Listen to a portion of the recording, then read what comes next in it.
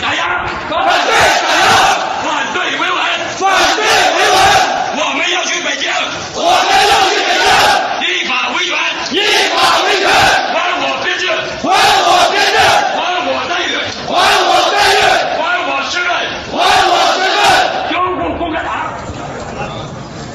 今年是二零一八年七月二十四日，烟台军转军转建民维权啊，市委领导五十一人出来接盘，战友们转移到火车站来了。